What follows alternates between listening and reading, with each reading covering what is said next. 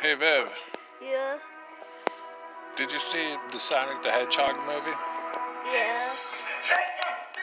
How'd you like it? I liked it. It Why was him? Why him? Why him? Why him? Um, do you know who directed the film? no, Do you know who was the voice of Sonic the Hedgehog? no. Uh, what was the movie about? Sonic the Hedgehog. So the movie starts, and what's Sonic doing? Running through. And uh, then what happens? Then he gets running, then he runs. Does a lot of running, huh? He's known for running.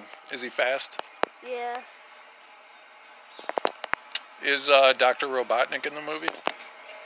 I think so. Um, does he have like a little helicopter thing that he flies around in? Yeah.